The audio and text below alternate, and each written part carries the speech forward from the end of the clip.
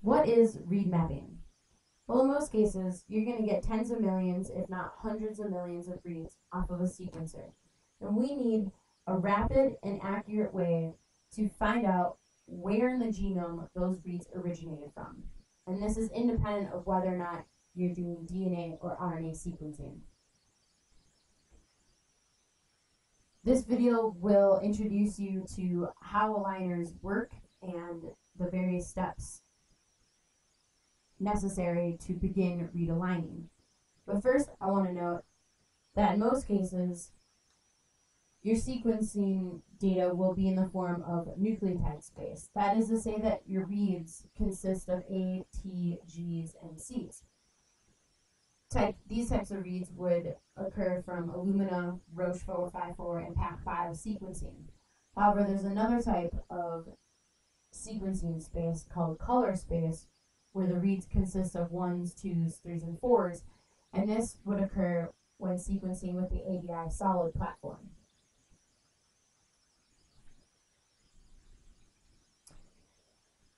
Several programs exist to rapidly align millions of reads to whole genomes.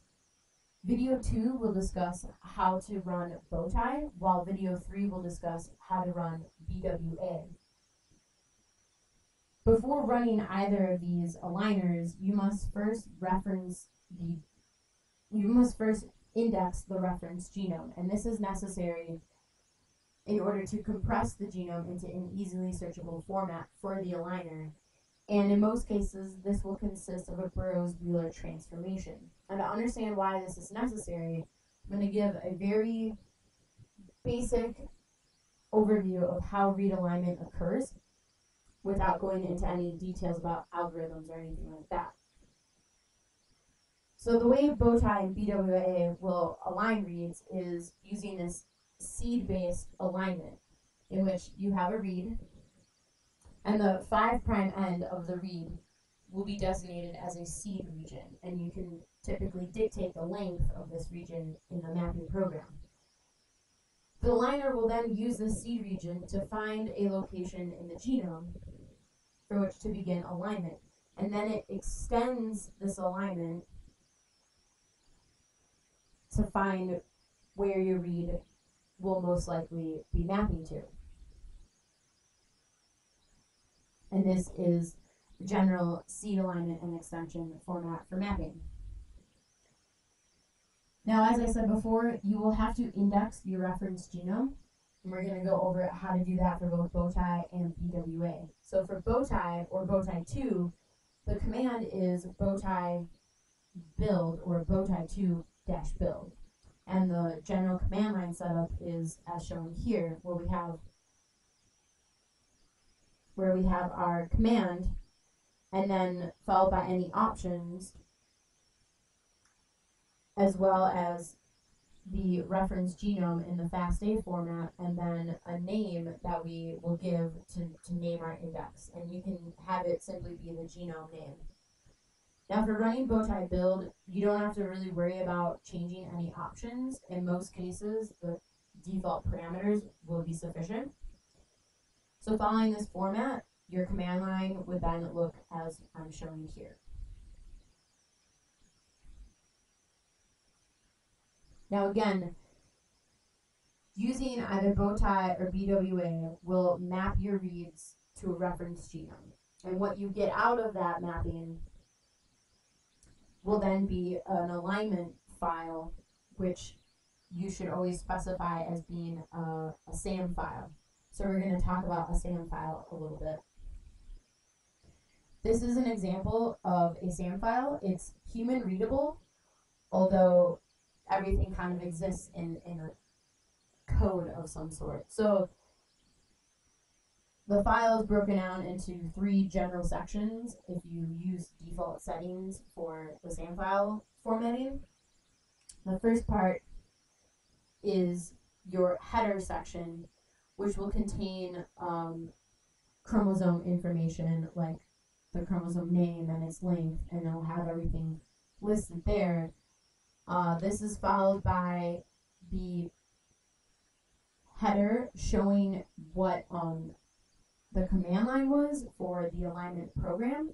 So in this case, it's showing me my Bowtie um, command line that I used to generate these alignments. And this can be really useful in case you didn't write it down or something. There you have it. And then the last part is all of the alignments. So each line consists of a single alignment, and the first part here would be the read name, followed by the SAM flag, the chromosome that the read maps to, the start coordinate for read mapping, and then various other parameters about the alignment. Now, SAM files can be rather large,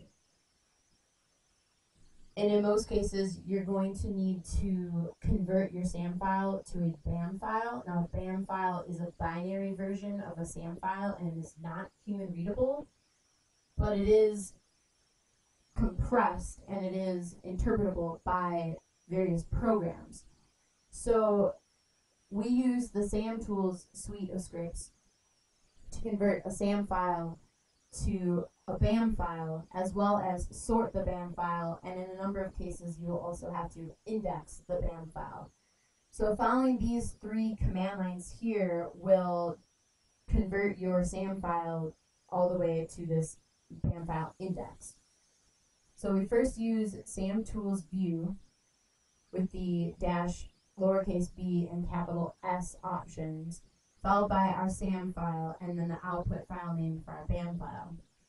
You then take this BAM file generated here and run SAM tools sort, provide the BAM file name and the sorted BAM file prefix name, which I typically just have as file.sorted, and it will output the file file.sorted.bam.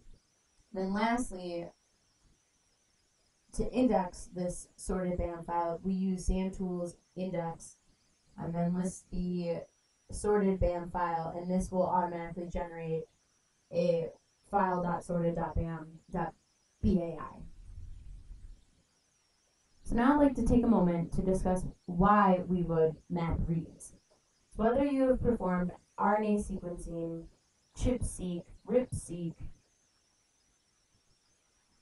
ribosomal profiling or many of the other uh, sequencing protocols that are out there, the general question that we're trying to get at is how many reads map to a given location in order to quantify read abundance for particular locations in the genome. You will need to think about what question is you're asking with your experiment in order to determine the best parameters for running mapping programs. Video 2 and 3 will discuss how to use Bowtie and BWA respectively, and we'll discuss a few of the different parameters for customizing alignment, but there are many other options that you can use, and oftentimes you'll have to experiment with picking the right options. But ultimately you have to think about what it is that you're trying to ask with your sequencing experiment.